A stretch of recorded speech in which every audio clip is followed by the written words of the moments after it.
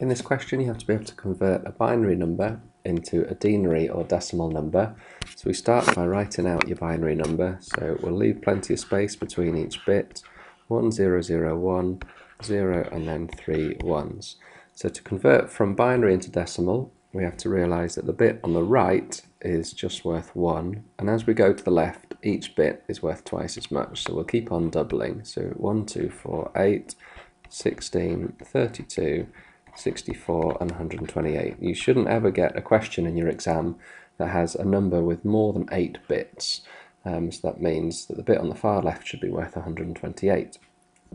Okay, then any um, of the digits, any of the bits that have a 1 in them, you just add up the numbers for how much that bit is worth. So we've got 128 above a 1, so that's 128 plus, we'll ignore the 64, we'll ignore the 32, but we'll add on 16, we'll add on a 4, we'll add on a 2 and a 1, and you have to add them up. You're not allowed a calculator in your exam, so you have to be able to add these, um, and if you do, get 151, and that's your answer.